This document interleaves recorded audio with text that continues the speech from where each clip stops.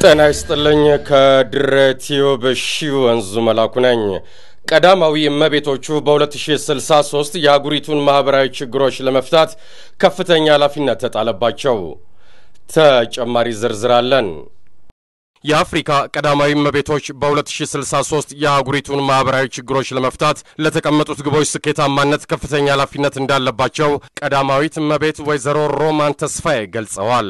በደቡብ አፍሪካ ጆሐንስበርግ በተካሄደው 15ኛው የአፍሪካ ቀዳማዊ እመቤቶች ጉባኤ የተለያዩ ሀገራት ቀዳማዊ እመቤቶች ማኅበራዊ ችግሮችን ለመፍታት የሄዱባቸውን የየሀገራቸውን ተመክሮ አቅርበዋል። ኢትዮጵያም ኤች አይቪን በመከላከል የእናቶችና ሕፃናትን ሞት በመቀነስና በስነ ተዋልዶ ጤና ያስመዘገበችውን ስኬትና ያካበተችውን ልምድ አቅርባለች። ቀዳማዊ እመቤት ወይዘሮ ሮማን በጉባኤው እንዳሉት የአህጉሪቱን ማኅበራዊ ችግሮች ለመፍታትና አጀንዳ 2063ን ለማሳካት ቀዳማዊ እመቤቶች የሚጠበቅባቸውን ኃላፊነት ሊወጡ ይገባል ብለዋል። ያለዕድሜ ጋብቻንና ጎጂ ልማዳዊ ድርጊትን በመዋጋት የስነ ተዋልዶ ጤና ችግርን በመቅረፍ ሴቶች የትምህርት ዕድል ተጠቃሚ እንዲሆኑ በማስቻልና ፖለቲካዊ ተሳትፏቸው እንዲጎለብት በማድረግ ወሳኝ ሚና እንደሚጠበቅባቸውም ገልጸዋል።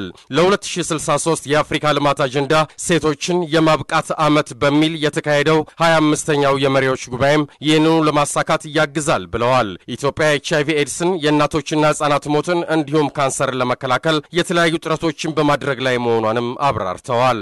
ይሁን እንጂ ከእናት ወደ ልጅ የሚተላለፈውን የኤች አይቪ ስርጭት ለመግታት እንዲሁም የማዕፀንና የጡት ካንሰርን ለመከላከል አሁንም ከፍተኛ ጥረት እንደሚጠይቅ ነው ያስታወሱት። በተለይ ከእናት ወደ ልጅ የሚተላለፈውን የኤች አይቪ ስርጭት ለመግታት ሰፊ ንቅናቄ በመደረግ ላይ ነው ብለዋል። የኢትዮጵያ ጤና ምርምር ኢንስቲትዩት ሪፖርት እንደሚያመለክተው በአህጉሪቱ አሁን ያለው የኤች አይቪ ስርጭት 1.5 በመቶ ነው። በቀጣይ የቫይረሱን ስርጭት ለመክታት በርካታ ጥረቶች በመደረግ ላይ መሆናቸውንና በተለይ እየተስፋፋ የመጣውን የማህፀንና የጡት ካንሰርን ለመከላከል ወደ አምስት የሚደርሱ የምርመራና ሕክምና ማዕከላት መቋቋሟቸውን አስረድተዋል። ዜናውን ያደረሰን የኢትዮጵያ ዜና አገልግሎት ነው።